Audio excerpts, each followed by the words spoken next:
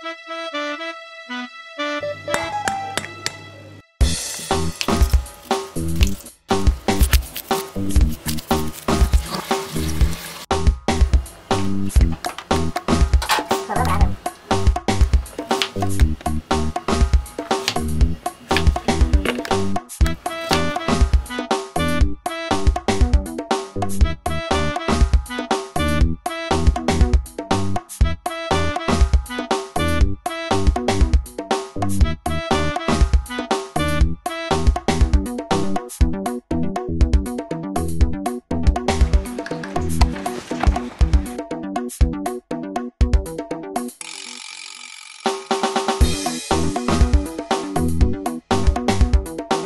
E vai ao forno cerca de meia hora